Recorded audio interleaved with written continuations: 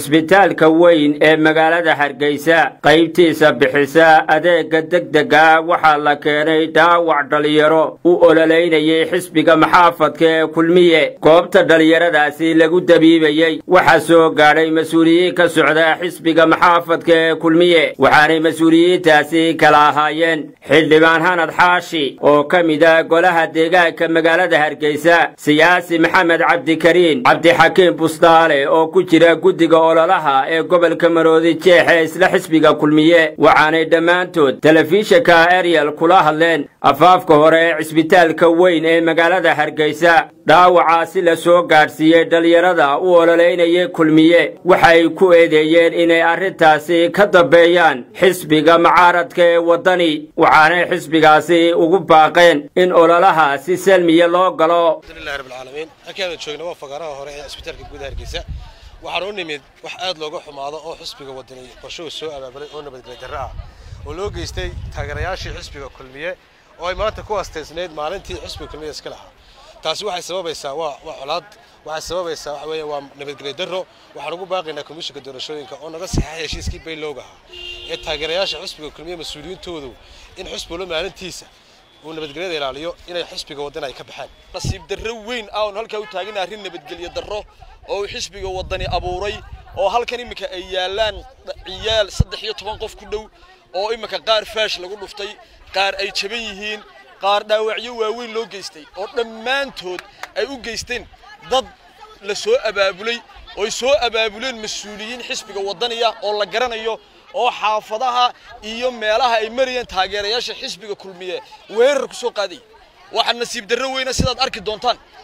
Dhalinyar ciyaalah oo faashash madaxa lagaga dhuftay oo dhakhtarka yaalla iminka qaybta emertisiga waxaa yaalla dhalinyar taageerayaashii xisbiga oo jajaban baa yaalla waxa weeyaan waxaanu ku baaqaynaa in nabadgelyada la ilaaliyo taageerayaasha dhammaan xisbiyada qaranka waxaynu u ducaynaynaa dadkaa khasaaruhu soo gaadhay ee dhallinyarta ah ee lagu laayay banaanbaxaas ay u soo banaanbaxayeen waynu u ducaynaynaa inuu ilaahay caafimaad sareecan oo degdega siiyo waxaase nasiib darraa in xaafadaha waa la iswada dhex marayaa dadku waa iswada dhex marayaan xisbiyada waynu wada leenahay in dadka qaar ay faalo khaldan kaga shaqeeyaan oo ay doonayaan inay nabadgelyada faraha ka saaraan. Xisbiga waddani waxaanu leenahay dadku wuu isdhex soconayaa laydinla joojin maayo dadku saasuu isu dhex soconayaa joojiya khaladaadka iyo gafafka aad ku samaynaysaan nidaamka isu soo baxa xisbiyada. Haddii la joojin waayo waxay dhacaysaa in dadyow kale iyaguna taasoo kale ay sameeyaan.